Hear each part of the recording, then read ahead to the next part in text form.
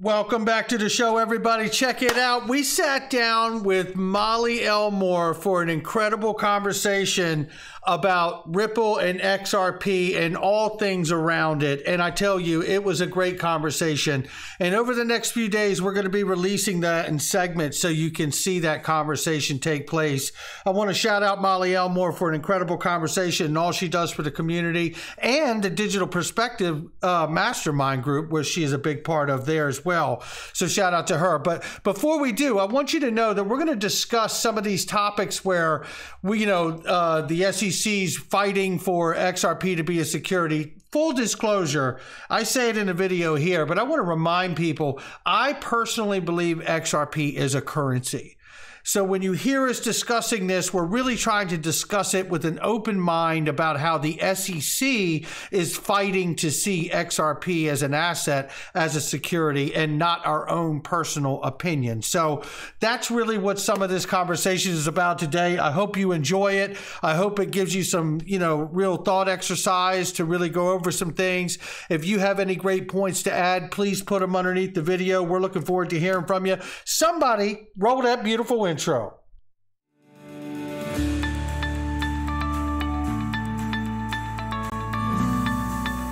Digital Perspectives with Brad Kimes. Come on in.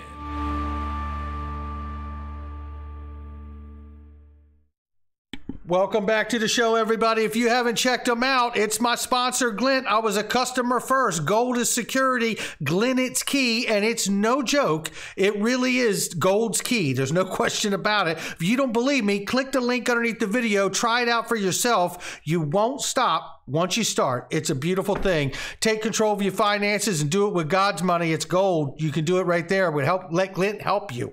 All right, let's get started with this. It's going to be a great conversation, ladies and gentlemen. Shout out to Molly Elmore. Here we go. Enjoy. Second, you know, one of the other things is is that you know when on the channel I've had to entertain the notion because of the lawsuit that, you know, XRP is or isn't a security. And personally, myself, I see it as a currency. I always mm-hmm. have. But because I'm an investor and I'm not afraid to look at the bad, good outcomes of something, you know, I'm forced to, you know, try to be as objective as I possibly can, right? And, you know, if it were to have a bond designation, because we know it's not a share because there are Ripple shares to the company, right? So, but right. companies all the time will create bonds to do expansions to their company. So, if the SEC were to win on something like that issue, then I could see that if that were to be the case or something close to it, then I could see countries and central banks holding this bond in a liquidity pool, and I could eventually someday see a stable coin being issued off of that pool and off of that uh, bond, should it go that way. And then you have a stable value coin or stable coin, however you want to call it, or global stable coin that could be price set right? Because I ultimately believe that the price has to be set if it's going to make its final destination to serve as a bridge currency to the world. And the reason I believe that is because if you don't have an absolute price, then why would the banks use it? I could just continue using gold that fluctuates every day, or I could continue using the US dollar that fluctuates every day. The liquidity's there. I can make so would they would you peg it, which means you want the value to be tied to another asset like gold. Maybe you could peg it to gold, but that does mean that somebody has to defend that peg. Well, I'll tell you what the peg is. Again, the XRP ledger is the decentralized exchange with all the liquidity of all the exchanges of okay. the world. That's a formulated price. Now, let's say that that price formulated comes to one, two, three, four, five, right? You know what I mean? Well, I could choose to just keep it at one, two at a stable price right? While it floats at one, two, three, four, five on the back end, but it'll never be guaranteed any less than one, two, right? So because it won't go to one, two, three, four, five, because three, four, five is the collateral headroom on the backside that it could never hit a dry pocket. That price is always guaranteed. And no matter what fluctuates, if you get enough water in the pool, the water will only move this much right? You know what I mean? So if who if guarantees I, that price though? I don't get who that who does well, that. it's a decentralized exchange. Everyone who uses the exchange is going to have to put up collateral. So let's look at the FX market, right? Okay. So XRP is perfect bridge for FX, all the FX currencies of the world. Now, currently, right now, you don't need it to be the the bridge between the euro and the dollar because there's enough liquidity between those two currencies. But it works really well in lower corridors and more exotic corridors, right? So, as you're building the currency, what if the central banks, when they launch their CBDC, say, hey, you know what? We're going to plug into our private version of the XRP ledger, which means for our digital CBDs wholesale to work back end, banks don't trust each other. We have to put up a certain amount of physical cash, a certain amount of physical gold that never leaves to represent that digital value of that central bank digital currency. Guarantee, guarantee that value. That's that what the CBDC. BRICS things are. They all have their pile of assets that they're using to back the currency. That's 100% what I believe we're watching happen with the disassembling of the petrodollar and the birth of the XRP ledger's utility using XRP as the new commodity of the world, being the water and liquidity of the world. That's what I believe we're watching happen. And that's where you would get a stable price from is that collateralization of these private ledgers that would all plug in and work to one another on the back end.